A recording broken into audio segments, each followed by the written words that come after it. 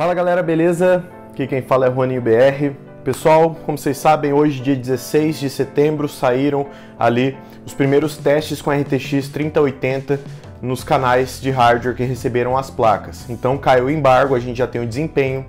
Hoje eu vou falar aqui para vocês que no Red Dead Redemption 2, uma 3080 no Ultra em 4K tá fazendo uma média de 50, 55 FPS.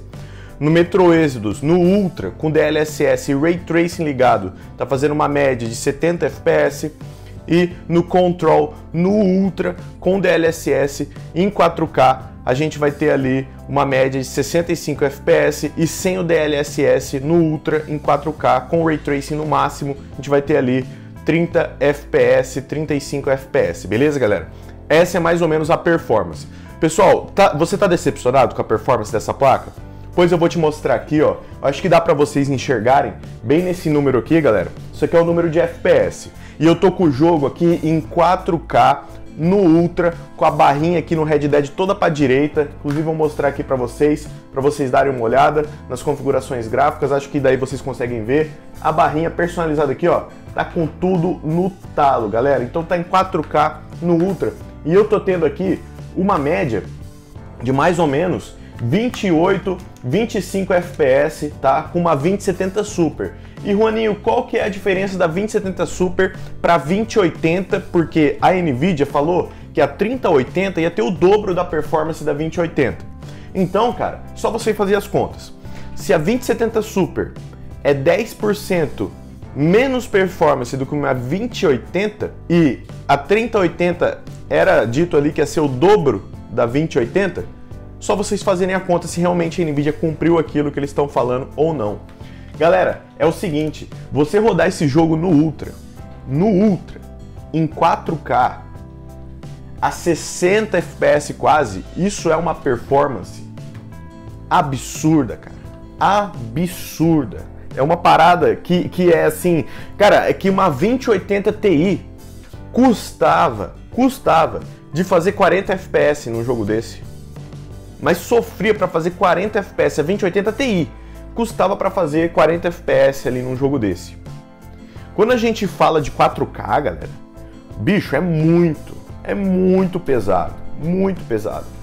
Chega a ser quase três vezes mais pesado que o Full HD ali. Se eu diminuir aqui na resolução, ó, se eu vir aqui em configurações e diminuir os gráficos para Full HD, botar ali ó, resolução 1920 por 1080, a gente já sai de um FPS da casa dos 25, 28 para casa dos 58, 59. Então é o dobro também de desempenho que a gente tem. A gente já sai, cara, do 25 para casa dos 60 FPS. Então, cara, é muita coisa rodar em 4K, tá? Rodar em 4K é muito pesado, tá, galera? Então não se decepcione se vocês forem ver testes aí, nossa, mas tá rodando 4K, 60 FPS. Pô, não devia estar tá mais alto, não devia estar tá com FPS na casa dos 120. Cadê o 4K 120 FPS? Pois é, o pessoal fica se perguntando, pô, cadê o 4K 120 FPS? Pessoal, isso não acontece, tá? Não existe 4K 120 FPS. Ah, o jogo mais leve vai conseguir fazer? Vai. O Doom, a 3080 conseguiu. 4K, mais de 120 FPS. A 3080 fez isso. Ali a 2080 Ti, ela fez na casa dos 180 FPS. Aqui na 2070 Super, no Doom Eternal em 4K, no Ultra, faz 60 FPS. Só esses números, galera. Que é matemática, cara. Matemática simples. Só pegar uma calculadora aí e fazer as contas. Quanto por cento é melhor? Quanto melhorou? Quanto que está em relação a outra, a outra série? Então, bicho, um Red Dead no Ultra, em 4K, na 2070 Super, nem faz, nem, nem faz, não faz nem 30 FPS. E a, a 3080 já tá quase no 60, cara. Ah, com uma melhoria de driver ali, pô, provavelmente bate 60, cara. Provavelmente bate 60. Driver hoje é dia 1. Então, imagine que vai ter sim uma melhora depois, uma otimização. Cara, bate fácil. Então não se decepcionem, galera que vocês estão vendo aí, 4K 60 ou 4K 30 com Ray Tracing no talo, jogo no Ultra, sem DLSS. Não faz primeira coisa, não faz sentido você jogar em 4K sem o DLSS 2.0 nos jogos que tem o DLSS 2.0. Porque o DLSS 2.0, ele além de fazer o seu FPS dobrar praticamente, te dá uma maior beleza na imagem. Essa é a bruxaria da Nvidia. Estão trazendo uma parada absurda.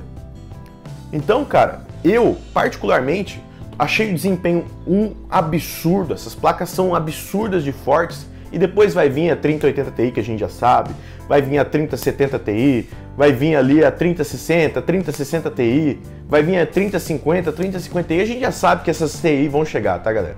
As TI vão chegar. Então, vai vir placa custando muito perto do que está hoje, com muito mais performance. Agora, bicho, a única coisa que eu te falo é não compre um 3090.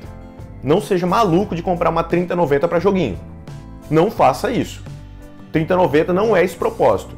Porque a Nvidia, nessa geração, qual que foi a sacada dela? Ah, vamos pegar a série Titan e vamos botar com o nome de, de série normal, RTX. Então a gente tinha uma RTX Titan na série 20, que seria agora a RTX 3090 Titan, só que eles mudaram para botar ali junto no mesmo patamar, né, entre aspas, dos usuários gamers. Mas não seja maluco você de comprar uma 3090, pelo amor de Deus, porque depois vai chegar a 3080 Ti com quase a metade do preço da 3090, tendo quase o desempenho da 3090, tá? Não faça isso. Então, galera, isso aqui é só para mostrar para vocês como que o jogo é pesado, cara. Não acho que isso aqui é leve não, bicho. Esse jogo é pesado pra caralho.